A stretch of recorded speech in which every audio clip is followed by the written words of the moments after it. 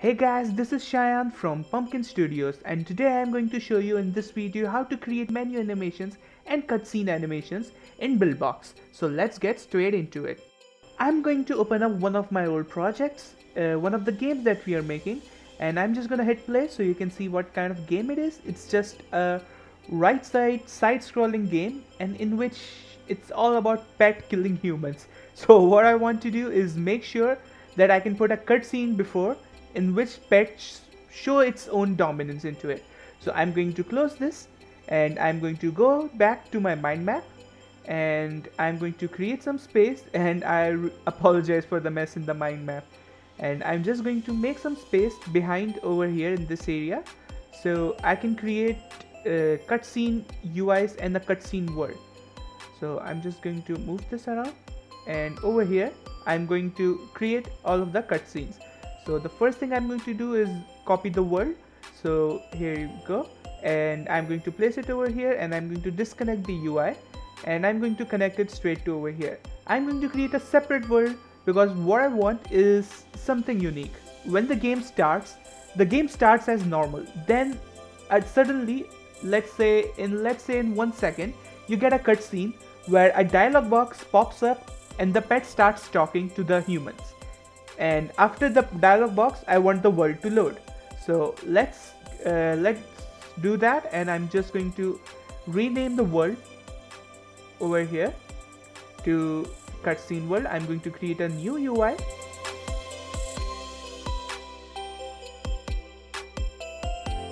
and let me go and check in if it's everything's alright now I'm going to name it to pauser. I'm going to use this UI to pause the game and create a fade in effect when the game pauses. Let's rename this to cutscene pauser.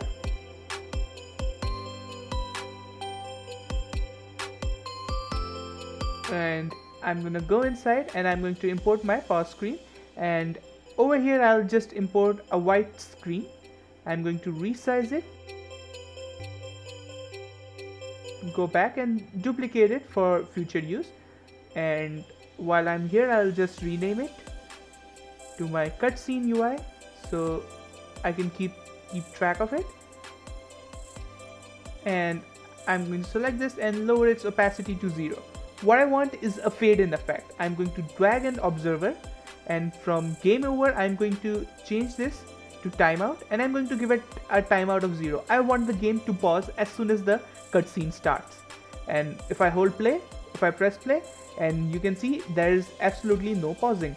I can go back and I can actually connect it straight to the cutscene UI so the UI loads.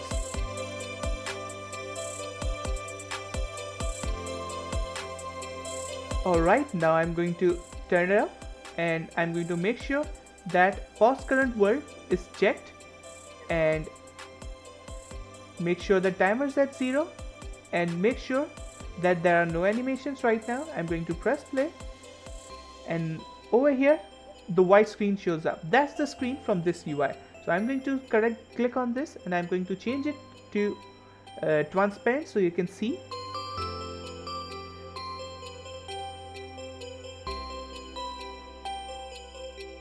And there you go. The game is paused. Now I can use this to create an animation where some sort of a fade in happens, then the animation happens. So I'm going to go to the close because I want this to happen when this thing is getting unloaded. I'm going to give it a couple of frames. I'm going to give it around 20 frames and I'm going to change its opacity to 0.25. Actually, I'm going to keep it at 0 over here at the start and when it's at the end, I'm going to give it 0.25. As you saw, I turned this recorder button on. Now I'm going to play it and playbacks perfectly fine. So over here what I'm going to do is again I'm going to keep it at idle and I'm going to give it that so when it plays it goes into pause screen and there we go that's the pause effect that I wanted to see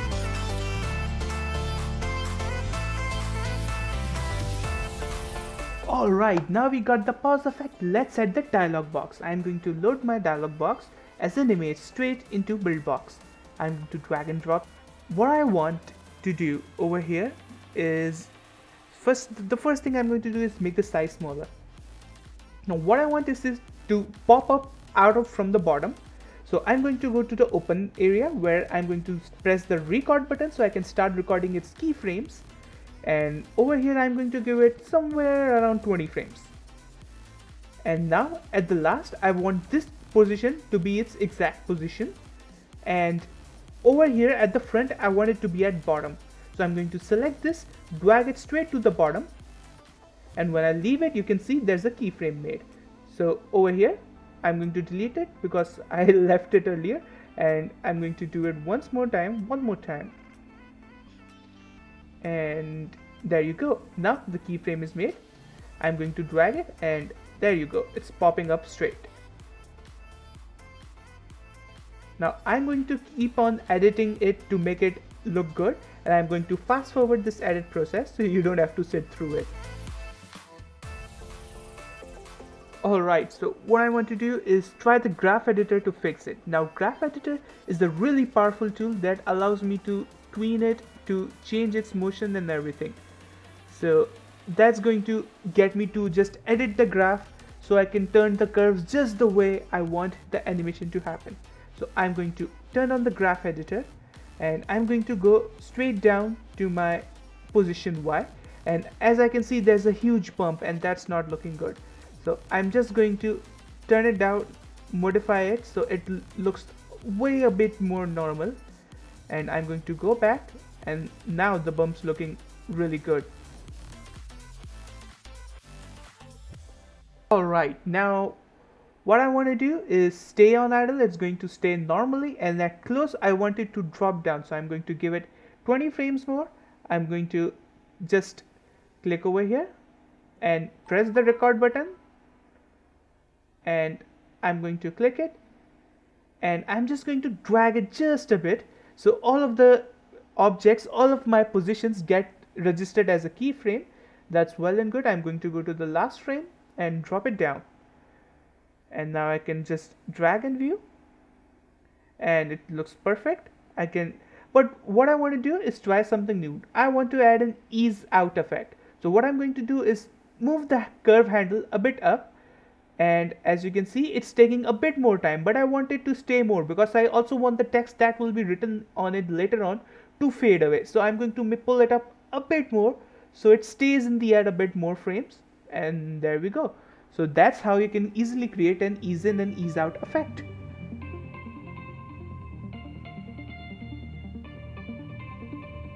Alright, so that's the effect. I'm going to press play and I'm just going to test it a little bit. And there you go.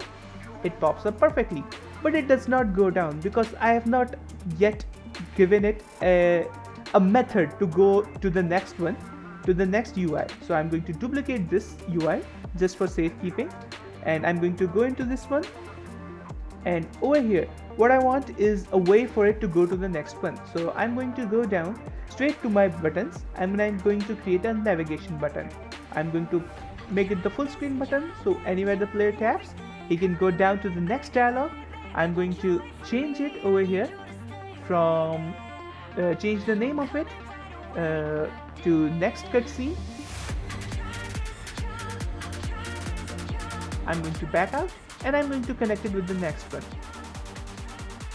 and I'm going to call this cutscene UI2 you can give it a, a more meaningful name if you want but that's gonna work just fine for me right now. I'm going to press play and I'm going to check. The cutscene happens the dialog pops up and when I tap it goes down and the next cutscene happens. That's good. That's great. So I'm going to go back now alright what I want now to is the character to pop up from the right side. So it looks like the character is talking. So what I'm going to do now is increase the frames up to 30 so after the whole dialog box pops up I have a bit of 10 frames so that the character can also come in front and I'm going to put all of this on my open. So I'm going to import it as an image. I'm going to put it on the left side of the screen right about there now I'm going to press record and I'm going to move it a bit over there and straight up to the end where I want the character to land. I want it to come over the box a little and there you go. Completely properly moves in forward and in the idle is going to stay there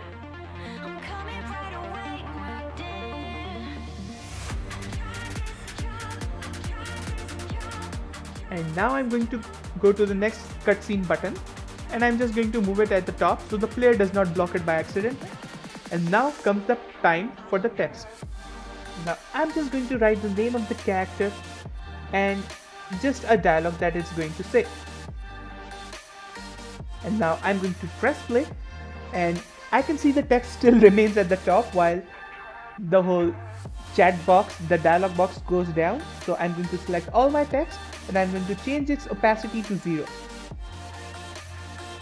And here at idle, I'm going to make the text appear. So right after the, all the animation happens, when it loads the idle track, I'm going to start record and I'm going to write its opacity to 0 so that I can make a keyframe of that. And right about at over here at frame 5 I'm going to make its opacity to 1 so now when I play it it appears. And there you go. And I'm also going to make sure in the graph editor I can go to opacity. I can check for the others. Now I want the name to appear first. So I'm going to select the other one. And I'm just going to move its keyframe I can do that straight here in the graph editor and I'm going to move it forward.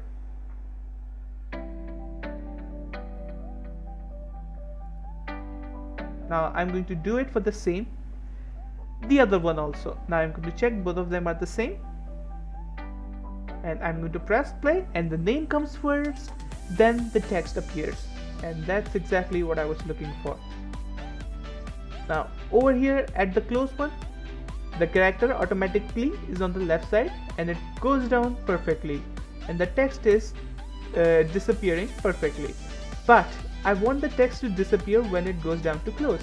So I'm going to go down to close, press record, and of all of the text I'm going to change the opacity to 1 and now due to the using our ease in and ease out we got a few couple of frames to make the text disappear before making it go down. So that's a really neat trick that's going to come in handy. And I'm going to press play. It loads, the text appears, and I'm going to press the button. The text is kind of small, I want to make it a bit more big. So I'm going to select my text and the best part is I never use the key animations on the positions so I can just position and scale it with no problem at all and the only the opacity I need to be a bit careful about now so I press the play and there you go the text appears perfectly when I tap it the next dialog box appears. Now I'm going to do the same thing for the next, the second dialog box with just a few differences. The first thing which I'm going to do is go to the graph editor, go to its X scale and delete the keyframe over here because what I want to do is I want to flip this. I'm going to go to Y scale and delete it just for safe measure. And what I want, I'm going to do over here is just add a negative sign in front of scale. Hmm, over here there you go. And it just flips to the other side. So it feels like the other side character is going to say something. Now if I drag this over here and if I make put it over here I would have to do all of the text animations and all of those animations again. So over here as you can see everything will happen. Again so what I can do is I can just delete that one and create a new one uh, and I can just copy the new one. So now instead of that what I, all of the animations gets loaded automatically over here and I can connect this to the world. All I have to do is just replace a couple of things. The first thing I want this not to be the said next cutscene. I'm going to change it to game start or cutscene end that's way better. And over here here's the text. And again since I did not edit the text in any way I can just rename the text and it's going to work perfectly. So I'm going to make those edit editing really quick now.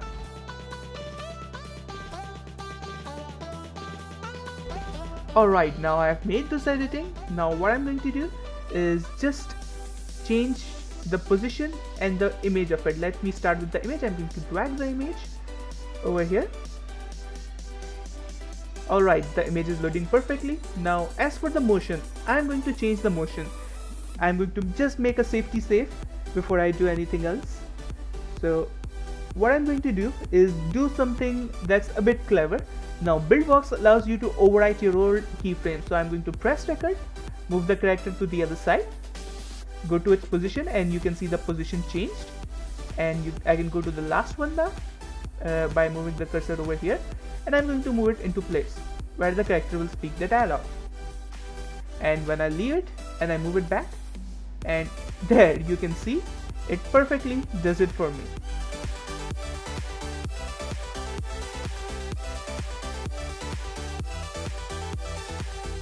I'm going to press play. It's a dialog box and Blackie is going to say its dialogue and then the human comes and the human says its dialogue. And after that the game loads perfectly. So the next level is gonna load after that.